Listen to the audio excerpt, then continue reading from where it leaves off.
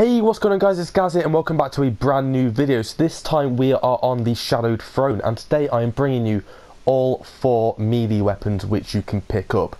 So the first one is the shovel which is right at spawn. If you've missed it, not to worry, it is right here in the middle. So all you have to do is hold down that square button and it picks up the shovel. So that is number one. So from here we're moving on to number two and let me just ping the video to over where you've got to go. Okay, so once you make your way out onto the main street, you want to make your way up to the stairs.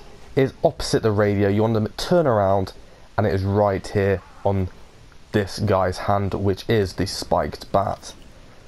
So number three is even closer.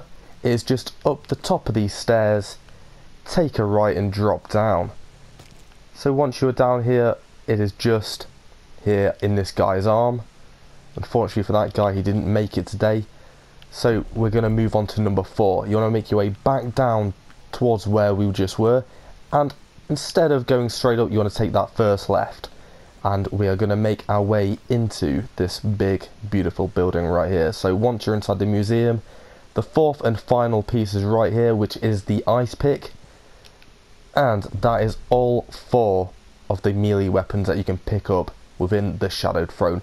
If there is another melee weapon in the future, I will update you guys as soon as that comes out. So if you guys have enjoyed this video and want to see more just like this one, make sure to hit that like button, drop a comment, and I'll see you in the next one. So thanks for watching, I'm Gaz, and I'm out. Peace.